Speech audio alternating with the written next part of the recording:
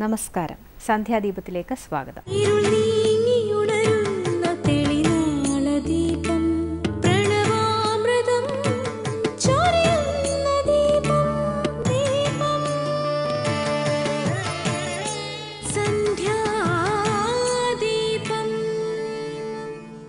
ഇന്ന് രാമായണ മാസം പതിനഞ്ചാം ദിനം. ഹനുമാൻ ശ്രീരാമന് വിശ്വസ്തനായതിനു പിന്നിൽ ഹനുമാന്റെ ശുദ്ധമായ മനസ്സായിരുന്നു. വാക്കുകളിൽ നിന്ന് വ്യക്തിയെ മനസ്സിലാക്കാം. ശുദ്ധമായ ഭാഷ തെളിഞ്ഞ മനസ്സിന്റെ ലക്ഷണമാണ്. സംസ്കാര സമ്പന്നമായ മനസ്സിൽ നിന്നേ സംശുദ്ധമായ ഭാഷ പുറപ്പെടുകയുള്ളൂ. ഹനുമാന്റെ വാക്കുകൾ ഇത്തരത്തിലുള്ളതായിരുന്നു. നമസ്കാരം. ഇന്ന് കർക്കിടക മാസം പതിനഞ്ചാം തീയതി.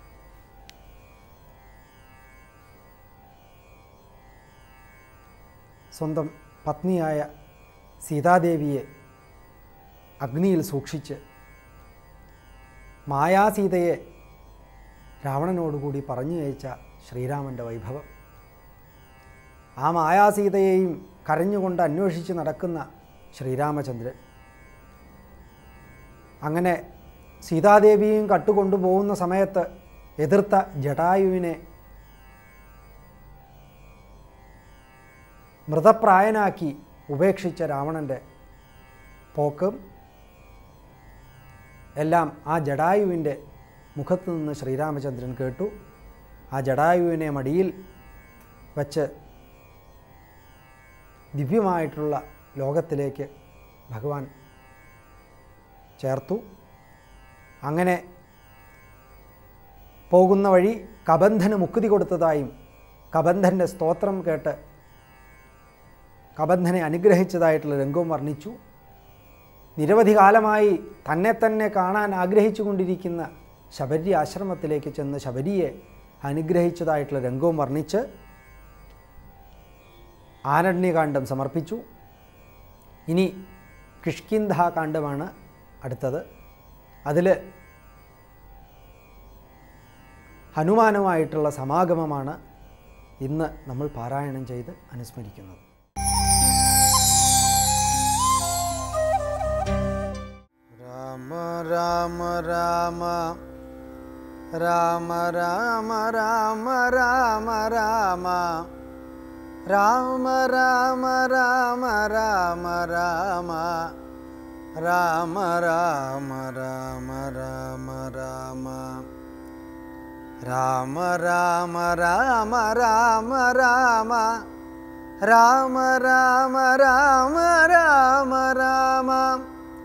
राम राम राम राम राम। राम राम राम राम राम। रामाय रामभद्राय रामचन्द्राय वेधसे रघुनाथाय नाथाय सीताय पतये नमः। मनोजवं मारुततुल्यवेगं जितेन्द्रियं बुद्धिमतां वरिष्ठं वादात्मजं वानरयूथमुख्यं श्रीरामदूतं मनसा स्मरा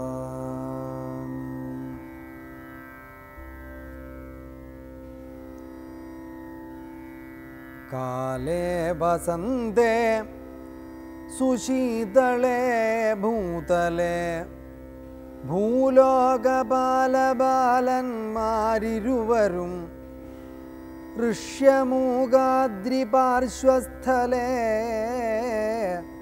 സന്തതം നിശ്വാസമുൾക്കൊണ്ടു വിപ്രലാപത്തോടും.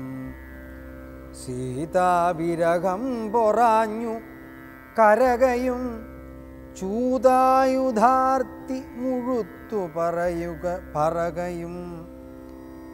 ആധി കലർന്നൊരു നടന്നടുക്കും വിധൗ. ഭീതനായി വന്നു ദിനകരപുത്രനും. സത്വരം മന്ത്രികളോടും കുതിച്ചു പാഞ്ഞു തുങ്കമായ ശൈലാഗ്രമേറിയിടിനാൻ. മാരുതിയോടു ഭയേന ചൊല്ലിയിടിനാൻ. ആരീ വരുന്നതിരുവർ സന്നദ്ധരായി. നേരെ ധരിച്ചു വരിക നീ വേഗേന. വീരന്മാരെത്രയുമെന്നു തോന്നും കണ്ടാൽ അഗ്രജൻ ചൊൽകയാലെന്നെ ബലാലിങ്ങു നിഗ്രഹിപ്പാനായി വരുന്നവരല്ലല്ലീ. വിക്രമമുള്ളവരെത്രയും തേജസ ദിക്കുകളൊക്കെ വിളങ്ങുന്നു കാൺക താപസവേഷം ധരിച്ചിരിക്കുന്നിതു ചാപബാണാസി ശസ്ത്രങ്ങളുമുണ്ടല്ലോ നീയൊരു വിപ്രവേശം പൂണ്ടവരോടു വായുസുത ചെന്നു ചോദിച്ചറിയേണം. വക്രനേത്രാലാപഭാവങ്ങൾ വക്രനേത്രാലാപഭാവങ്ങൾ കൊണ്ടവർ ചിത്തമെന്തെന്നറിഞ്ഞാൽ വിരവിൽ നീ ഹസ്തങ്ങൾ കൊണ്ടറിയിച്ചിടു. നമ്മുടെ ശത്രുക്കളെങ്കിൽ അതല്ലെങ്കിൽ നിന്നുടെ വക്രപ്രസാദമന്ദസ്മേര സംജ്ഞയാ മിത്രമെന്നുള്ളതുമെന്നോടു ചൊല്ലണം. കർമ്മസാക്ഷിസുതൻ വാക്കുകൾ കേട്ടവൻ ബ്രഹ്മചാരി വേഷമവലംബ്യ സാദരം അഞ്ജസാ ചെന്നു നമസ്കരിച്ചിടിനാൻ. അഞ്ജനാപുത്രനും ഭർത്തൃപാദാംബുജം. കഞ്ചവിലോചനന്മാരായ മാനവകുഞ്ചരന്മാരെ തൊഴുതു വിനീതനായി. അങ്കജൻ തന്നെ ജയിച്ചോരു കാന്തി പൂണ്ടിങ്ങനെ കാണായ നിങ്ങളിരുവരും. ആരെന്നറികയിലാഗ്രഹമുണ്ടതു? നേരെ പറയണമെന്നോടു സാദരം. ദിക്കുകളാത്മാ ദിക്കുകളാത്മഭാസൈവ ശോഭിക്കും അർക്കനിശാകരന്മാരെന്നു തോന്നുന്നു. ത്രൈലോക്യകർത്തൃഭൂതന്മാർ ഭവാന്മാരെന്നാലോക്യ ചേതസി ഭാതി സദൈവമേ. വിശ്വൈകവീരന്മാരായ യുവാക്കളാം അശ്വിനി ദേവകളോ മറ്റതെങ്ങിയേ? വിശ്വൈക കാരണഭൂതന്മാരായൊരു വിശ്വരൂപന്മാരാമീശ്വരന്മാർ നിങ്ങൾ നൂനം പ്രധാന പുരുഷന്മാർ മായയാ മാനുഷാകാരേണ സഞ്ചരിക്കുന്നിതു. ലീലയാ ഭൂഭാരനാശനാർത്ഥം പരിപാലനത്തിനു ഭക്തനാം മഹീതലെ. വന്നു രാജന്യവേഷേണ പിറന്നൊരു പുണ്യപുരുഷന്മാർ പൂർണഗുണവാന്മാർ.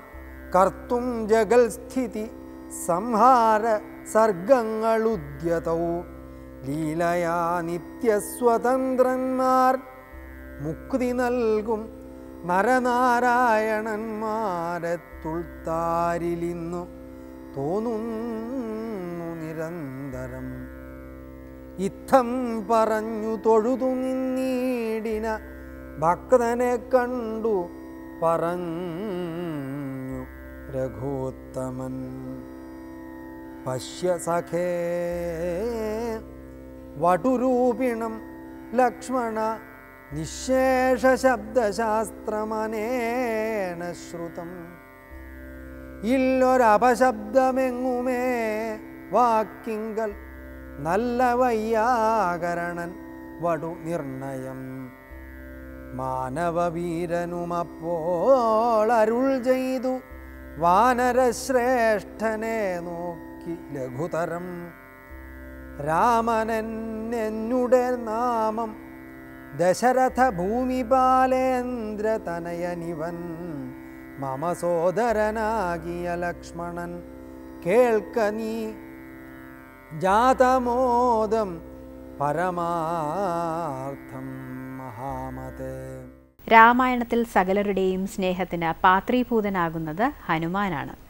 ഏറ്റവും ഇഷ്ടമുള്ള ആൾക്ക് നൽകാനായി രാമൻ ഒരു മാല സീതയെ ഏൽപ്പിച്ചപ്പോൾ സീത തെരഞ്ഞെടുത്തത് ഹനുമാനെയായിരുന്നു. സന്ധ്യാദീപത്തിൽ അടുത്തതായി ലളിതാമൃതം.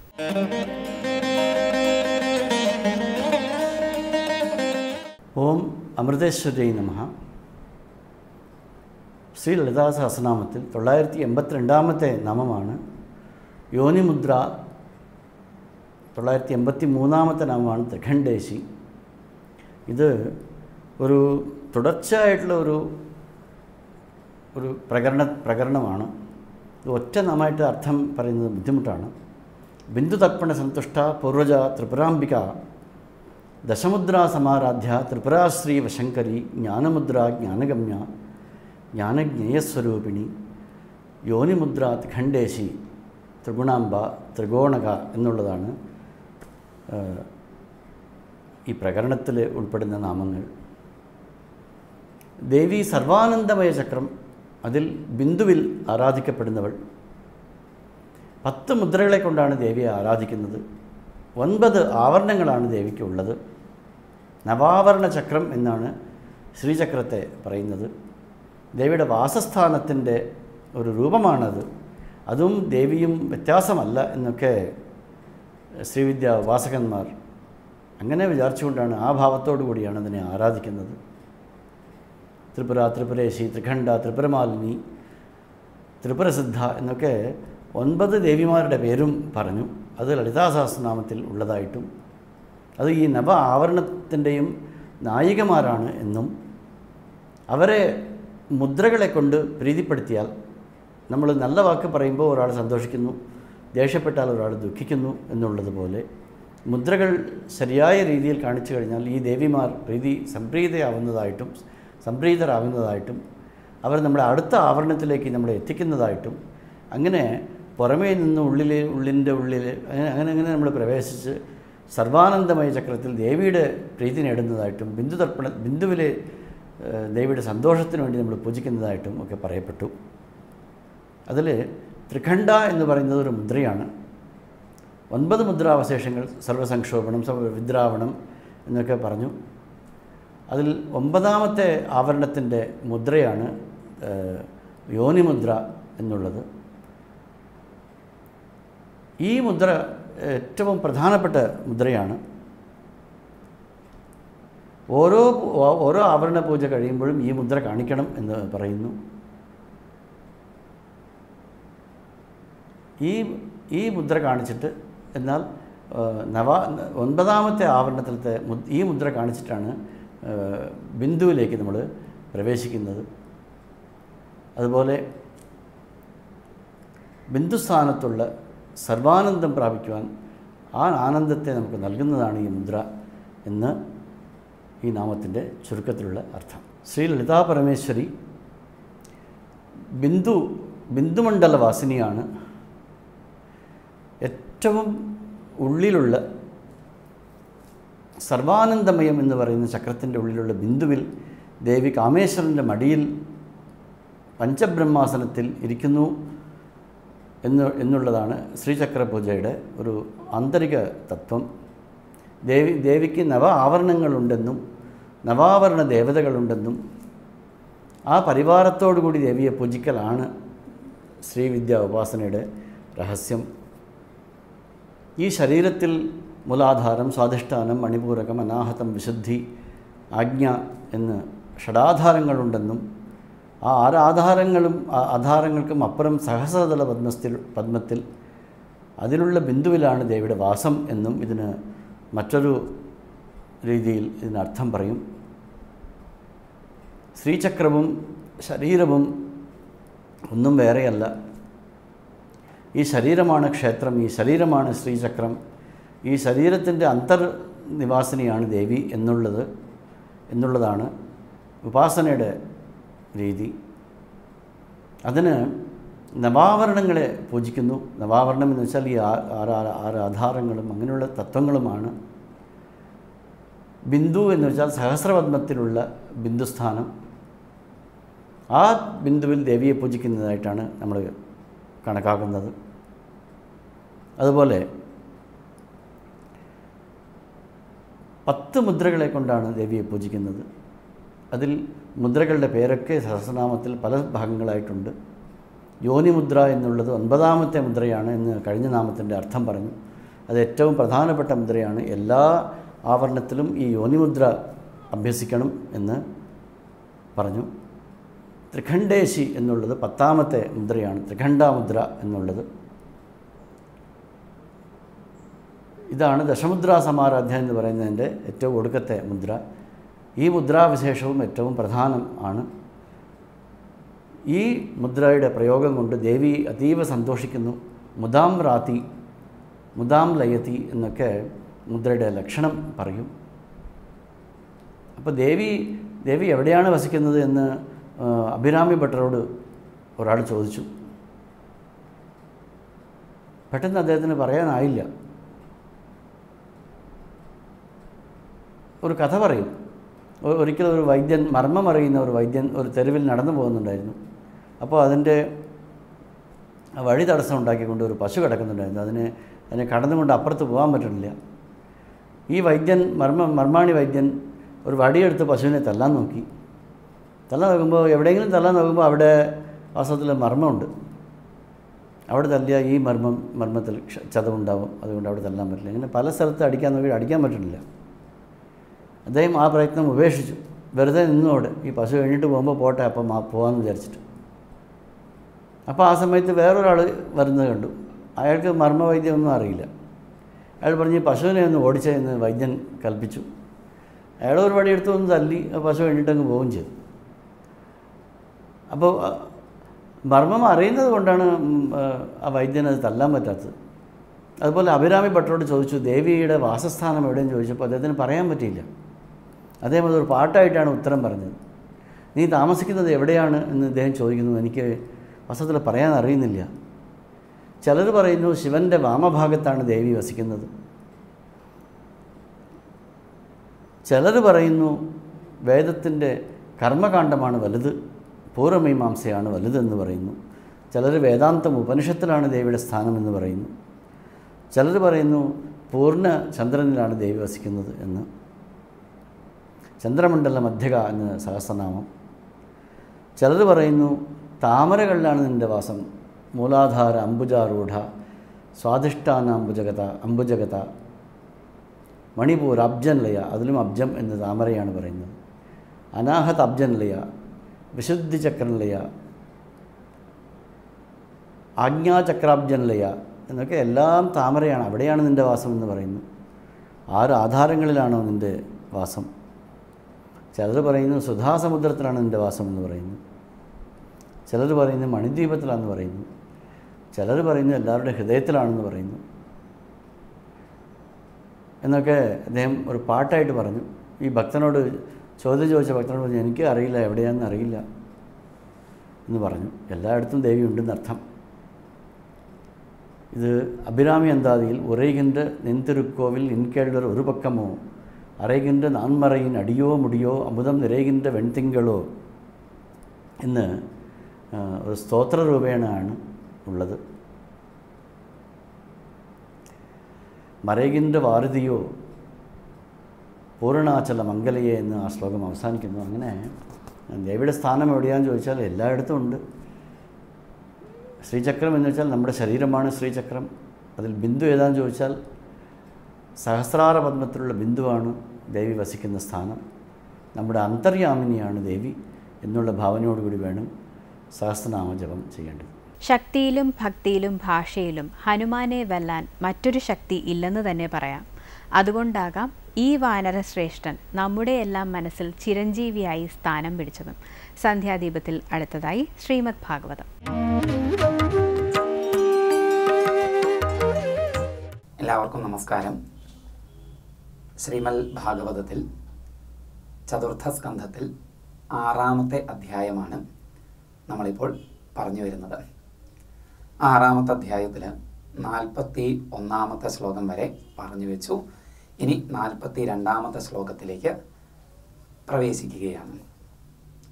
നമുക്കാദ്യം ആ ശ്ലോകത്തെ പരിചയപ്പെടാം. അപ്പം കഴിഞ്ഞ ശ്ലോകത്തിൽ ബ്രഹ്മാവ് കൈലാസത്തിൽ ചെന്നു. ബ്രഹ്മാവിന്റെ കൂടെ ദക്ഷയാഗത്തിൽ സംബന്ധിച്ച് ദക്ഷന് കൂട്ടുനിൽക്കുക വഴി അംഗഭംഗം വന്നവരായ ദേവന്മാരും മഹർഷിമാരും ഒക്കെ ഉണ്ട്. അതൊക്കെ പരിഹരിച്ച് കിട്ടുവാനായിട്ടാണ് അവരിപ്പം ബ്രഹ്മാവിനോട് കൂടിയിട്ട് കൈലാസത്തിലേക്ക് വന്നിരിക്കുന്നത്. കൈലാസത്തിൽ ചെന്നപ്പോൾ അവിടെ വടവിടബി സമീപേ പ്രാഗ്നിഷണ്ണം ആ വടവൃക്ഷത്തിന് ചുവട്ടിലിരിക്കുന്ന ജ്ഞാനസ്വരൂപിയായ ദക്ഷിണാമൂർത്തിയായ മഹാദേവനെ ദർശിച്ചു. മഹാദേവൻ അവരെ ഇവരും നമസ്കരിച്ചു. മഹാദേവൻ ബ്രഹ്മാവിന് ഇങ്ങോട്ടേക്ക് നമസ്കരിച്ചു. അതൊക്കെയാണ് നമ്മളിപ്പം കേട്ടത്. അങ്ങനെ മഹാദേവൻ നമസ്കരിച്ചു. മഹാദേവനെ ബ്രഹ്മാവ് സ്തുതിച്ചു തുടങ്ങുകയാണ്. ഇനി ആ സ്തുതിയാണ് നമ്മൾ കേൾക്കാൻ പോകുന്നത്. അപ്പം ബ്രഹ്മാവിന്റെ സ്തുതി ആയതുകൊണ്ട് ബ്രഹ്മാവ് പറഞ്ഞു എന്ന് പറഞ്ഞ് ആരംഭിക്കുന്നു. നാൽപ്പത്തി രണ്ടാമത്തെ ശ്ലോകം. ബ്രഹ്മോവാച എന്ന് പറഞ്ഞ് ആരംഭിക്കുന്നു. ജാനേ ത്വാം ഈശം വിശ്വസ്യ ജഗതോ യോനിബീജയോ ശക്തേ ശിവസ്യ ച പരം യത്തത് ബ്രഹ്മനിരന്തരം. ഇതിഹാസ പുരാണങ്ങളെ വിചാരം ചെയ്യുമ്പോൾ കൂടുതൽ അവധാനത വേണ്ടത് സ്തുതിഭാഗങ്ങളെ ഉപദേശഭാഗങ്ങളെയൊക്കെ വിചാരം ചെയ്യുമ്പോഴാണ്. ഇതിഹാസ പുരാണങ്ങളുടെ പ്രഖ്യാപിത ലക്ഷ്യമായ വൈദിക തത്വങ്ങളെ വിസ്തരിക്കുക എന്നുള്ളതിനെ ഇതിഹാസ പുരാണങ്ങൾ പ്രത്യക്ഷമായി നേരിട്ട് ചെയ്യുന്നത് ഈ സ്തുതിഭാഗങ്ങളിലൂടെയും ഉപദേശഭാഗങ്ങളിലൂടെയൊക്കെയാണ്. അപ്പം ഇവിടെ ബ്രഹ്മാവിന്റെ സ്തുതിയാണ് ഗംഭീരങ്ങളായ വൈദിക തത്വങ്ങളെ അടിസ്ഥാന ഉപനിഷത് തത്വങ്ങളെ പറഞ്ഞുകൊണ്ടാണ് ബ്രഹ്മാവ് സ്തുതിക്കുന്നത്. നമുക്ക് ആ സ്തുതിയിലേക്ക് വരാം. എന്താ ബ്രഹ്മാവ് പറഞ്ഞത്? ജഗത യോനിബീജയോ ശക്തേ ശിവസ്യ ശിവസ്യജ പരം. ജഗത ജഗത്തിന്റെ പ്രപഞ്ചത്തിന്റെ യോനി ബീജയോഹോ യോനിയും ബീജവുമായ ശക്തേ ശിവസ്യജ ശക്തിയുടെയും ശിവന്റെയും പരം ഉപരിയായും. വിശ്വസ്യ ഈ വിശ്വത്തിന്റെ പ്രപഞ്ചത്തിന്റെ ഈശം ഈശനശീലം ഉള്ളവൻ ഈശൻ ഈശ്വരൻ നിയന്താവായും നിരന്തരം ബ്രഹ്മ ആയിട്ടുള്ള തത്വം ഏതൊരു തത്വമാണോ ആ നിർഗുണമായ ബ്രഹ്മം യത് തത് ത്വാം ജാനേ. ആ നിർഗുണമായ ബ്രഹ്മം ഏത് ആണോ അത് അങ്ങാണ് എന്ന് ഞാൻ അറിയുന്നു ഞാൻ മനസ്സിലാക്കുന്നു എന്നാണ്. അപ്പോൾ ഈ ശ്ലോകത്ത് പറഞ്ഞത് എന്താണ്? ഈ പ്രപഞ്ചത്തിന്റെ യോനി ശക്തി അഥവാ പ്രകൃതിയാണ്. ബീജം ശിവൻ അഥവാ പുരുഷനാണ്. പ്രകൃതി പുരുഷന്മാർക്കുപരിയായ സാക്ഷാൽ നിർഗുണ പരബ്രഹ്മമാണ് അങ്ങ് എന്ന് ഞാൻ മനസ്സിലാക്കുന്നു.